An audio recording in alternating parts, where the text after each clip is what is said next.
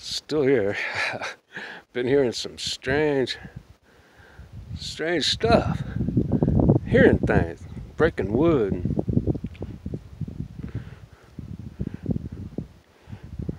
Huh. I better be even more interesting in the middle of the cold, dark night. Because I ain't going nowhere.